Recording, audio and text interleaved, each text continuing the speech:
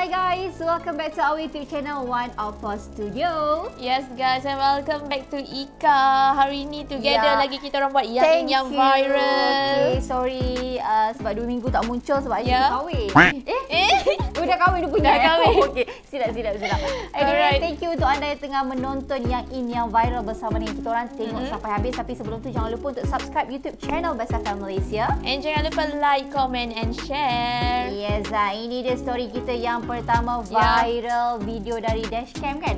Betul. Ada seorang wanita ni, pemandu wanita ni dia marah-marah. Sebabnya awalnya dia tu U-turn lah dekat kawasan tu. Ya, dia And nak U-turn. yang ada dashcam ni, Mm-mm. uh, dia horn lah panjang horn dia.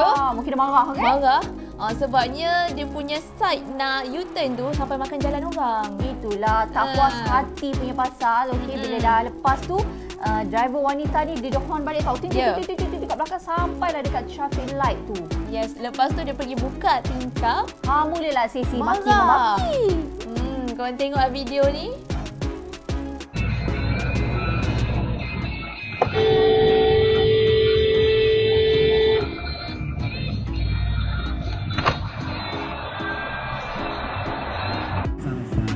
Ni.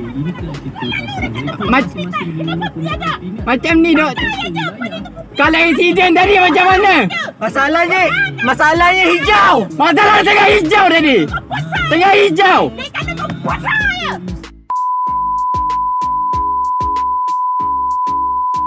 Ini tadi macam mana? Doktor macam ni. Doktor macam ni. Ah nampak tak tu dia marah-marah kan siap keluarkan bahasa yang kesat lagi. Betul, and katanya dia ialah seorang pensyarah dekat salah satu universiti.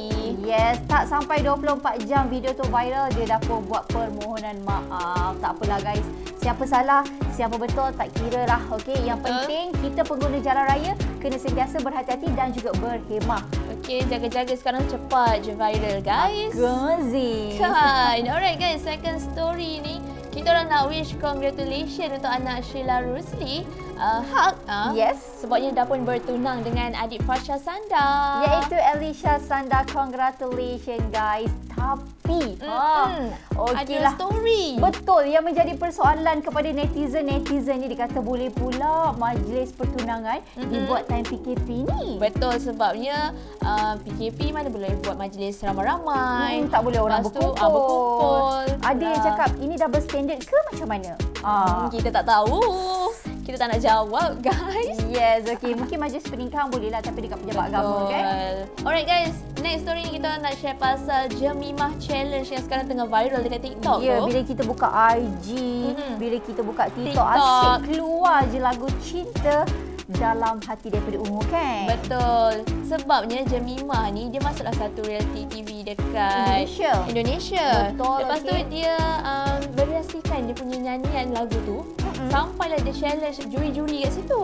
Itulah kan biasa juri challenge peserta ni peserta challenge Challenge juri, juri, tau. kelas. Biasa-biasa. Kan? Ramai juga lah artis-artis Malaysia yang dah pun sahut cabaran ni hashtag Jemimah Challenge. Yes, and itu first hari tu yang dia viral. Hmm. Second pula dia viral untuk lagu Cinta Cinta Ini Membunuhku. Weh, susah lagi Di Mesir. susah dia buat kali ni kan. Betul. Ai, tengok je lah. You dah buat belum? Tak reti nak nyanyi. Tak boleh challenge. Boleh dalam toilet je kita menyanyi, okey? Gitu je.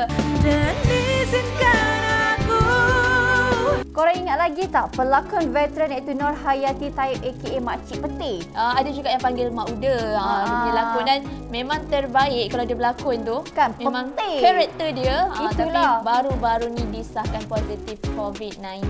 Yes, kalau tengok video jap lagi ni, okey, Mhm. dia record time dia tengah tunggu ambulans ambil dia untuk bawa ke hospital. Yes, so semoga Makcik Peti atau Mak Uda ni cepat-cepat sembuh. Allah amin.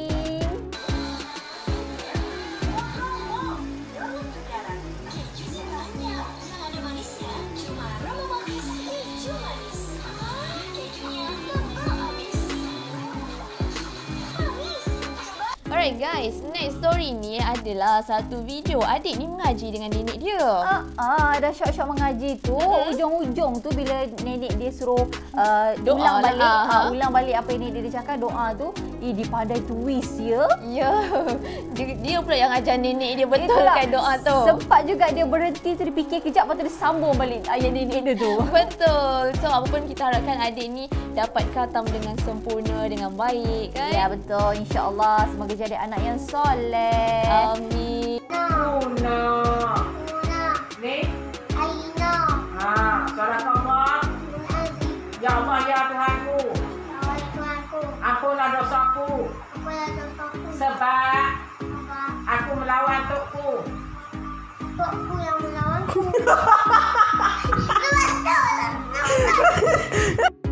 Guys, story kita yang terakhir. Negara kita ni baru saja kehilangan satu bakat besar iaitu mm-hmm. pelawak veteran stand up comedy iaitu Datuk Jamali Syadat akibat sakit tua.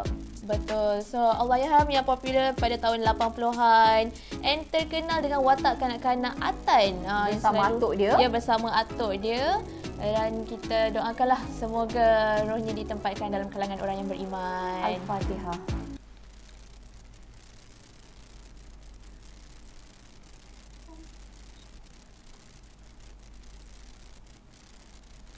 Amin. Alright guys, itu je story kita kali ini. Jangan lupa dengarkan yang in yang viral dan jangan lupa untuk subscribe YouTube channel Best FM Malaysia. Ya, dan jangan lupa like, comment and share. Okay, jaga diri. And jangan Bye. lupa SOP. Bye.